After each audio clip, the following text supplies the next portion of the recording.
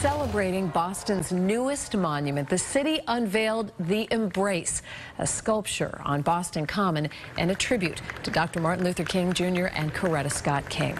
The couple met here in Boston. WBZ's Paul Burton is on Boston Common with today's memorable ceremony. Those hands. It's just a remarkable statement of mutual love and solidarity. It was a historic and monumental day in Boston as a long-awaited Embrace statue of Dr. Martin Luther King Jr. and Coretta Scott King was unveiled, and the family of Dr. King stood in amazement. Hold up. Wait a minute.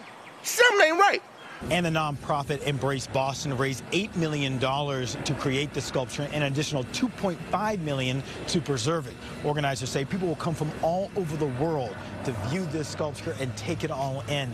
Oh my God!